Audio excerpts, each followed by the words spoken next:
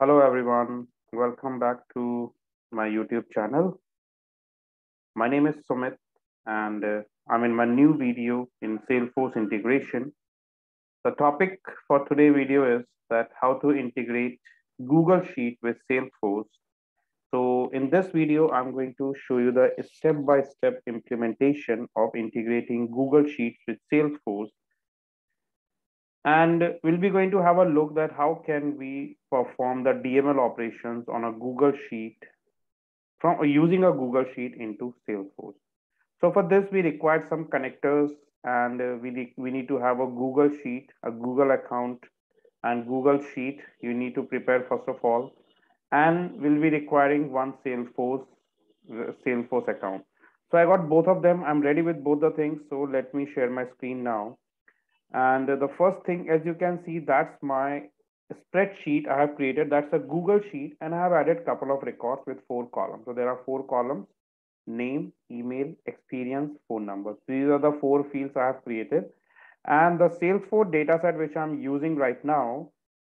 So the Salesforce dataset which I'm using right now, that's my Salesforce dataset where it's a recruitment application. There's a candidate object and my objective is to, my requirement is to add records into this or insert the records into this uh, and candidate object using Google Sheet.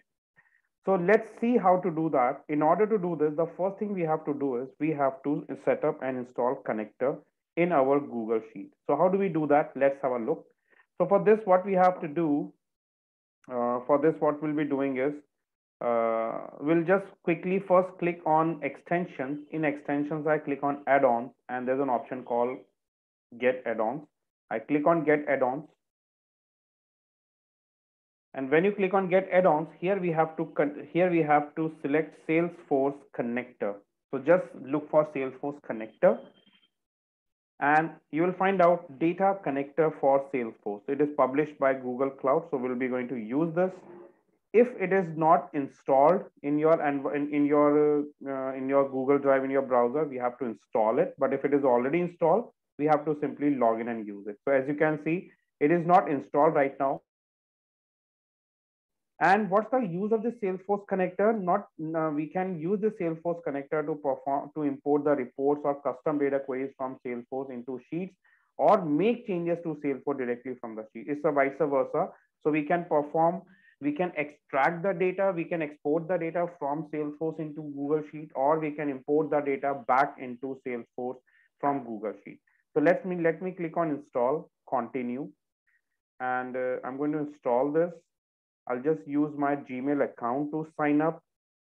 And here we have to give permission to this. So I just click allow. And the connector will get installed. It will take few minutes so as you can see, it has been installed successfully. I click on done and close this. And now we'll, we'll just cross check whether connector is installed or not. So I click on extension once again, and you can see the Salesforce connector has been installed successfully. So I click on open. And when we click on open, what it will do, it will establish uh, like when we click on open, so it's working and it's going to uh, it's going to connect with our uh, it's going to connect with our Salesforce account.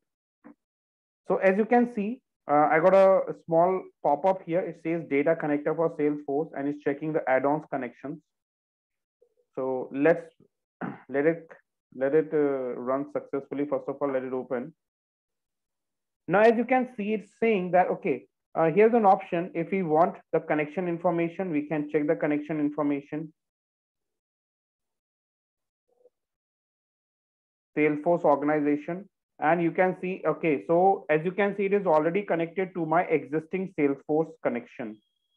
So it's, it's already connected to my existing Salesforce connection, whereas the current, uh, the current account which I'm using right now, my current Salesforce account, my, my current Salesforce account is this one which I'm using right now, that is a different account. As you can see, that's a different, that's a different account and it is connected to a different account okay and it is connected to a different account so i just disconnect from the uh, the previous one and i'm going to set up a connection once again so i'll just say uh, open open and we need to establish a connection once again. You can see. Now, as you can see, what it is saying, it didn't ask me for the credentials. Why it didn't ask me for the credentials? Because it quickly detect the Salesforce, uh, the, the Salesforce subscription, which is up and running. So as you can see, my Salesforce account, my Salesforce subscription already opened here, this one. This one, this already up and running. So therefore what happened, it didn't ask me for, like it didn't ask me for the credentials. The credentials are already available. So I we have to authorize it. I click on authorize. And you can see the same Salesforce account. This is the same Salesforce account as you can see this one, which we will be using here. So Sumit 120, that's the same one. Clear that? So it's asking for authentication. As you can see, it's asking for authorization. And what I have to do here, I have to authorize it. See, that's the same Salesforce account, so I have to authorize it. And I click on allow. And it says you can close this page. So I can close this page and get back to my spreadsheet. And you can see it's connected to my spreadsheet now. And I'm getting these options, import data from a Salesforce reports. We can import, update, delete, or refresh. I don't want to import the data. I want to update the data. Actually, I just want to insert the record. So I click on update and uh, we'll just check all the operations one by one. So first of all, I'm doing an update here. And see, it says if threw an error message, we have to select a valid date range. So these are the records which we want to insert it. So I just select these, uh, I just select the records which I want to insert and refresh the selected range. And in which object? I just wanted to add this into candidate object. So I just look for candidate object. I want to perform insert update or uh, insert or update. I'm just going with insert operation. The result column will be E. It means if any record get fail, if any issue occur, the result will the result will displayed in this column E. Next, in next step, we have to do the mapping. It makes sure that it maps successfully so name, it's not a number actually, it's a candidate name. It's a full name. So I'll just go, I'm just selecting full name. That's a field called full name. And email will be email ID. Experience is experience and phone number is phone number field. And click, and uh, I just want to, I just want to uh, include all the columns. So I select all the columns and click on execute. And yes, I want to insert nine records. And once the record get inserted, we will get an update. We'll get the output in the same Excel, the same drive, actually same Google Sheet that the record has been inserted successfully. You can see all record inserted successfully. Let's go and verify this. I'll get back to my account. See, right now it is showing 16 records, but when I refresh, now I got, uh, okay, so that's a 16 records. And the record has inserted successfully actually. And we can do one thing, created date. So I'll just sort this in a, as a created date.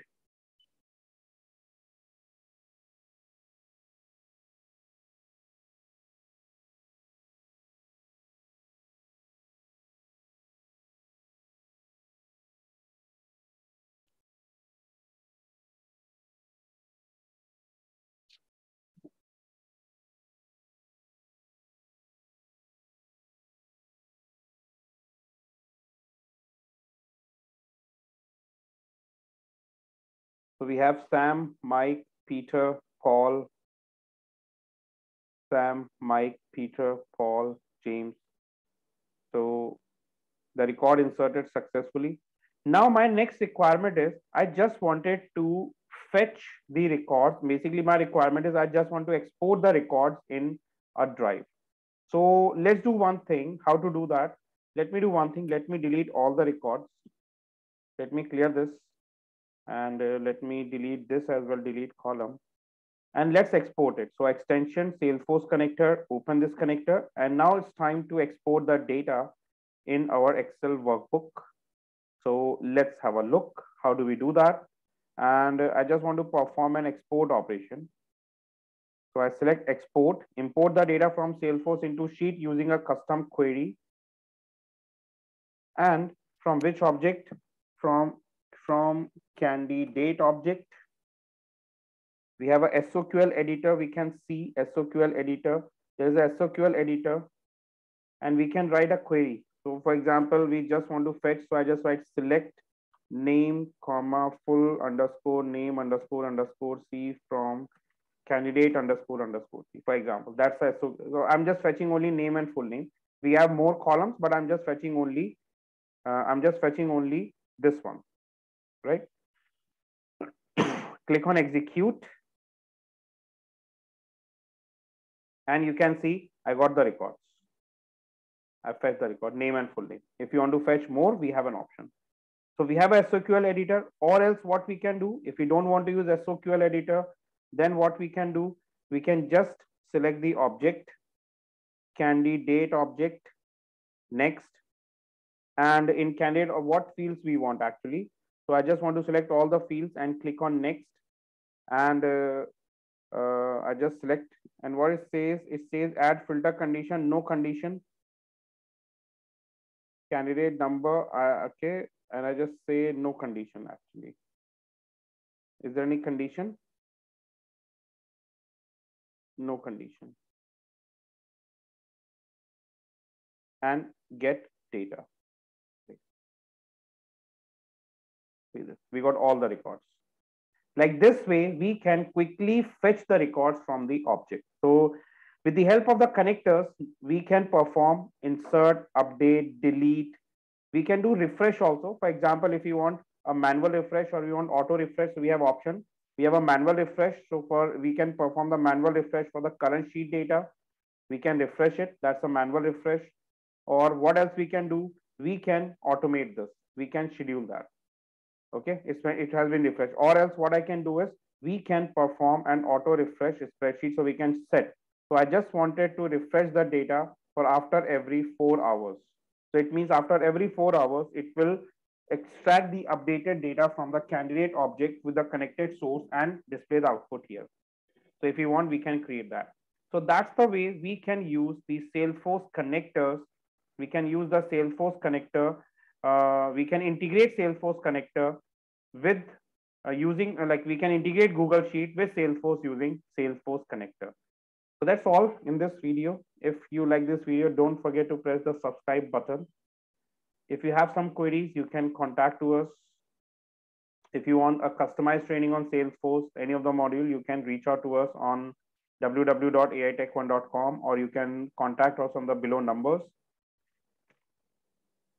Don't forget to post your comments and press the bell icon to get the update about the more videos, latest videos.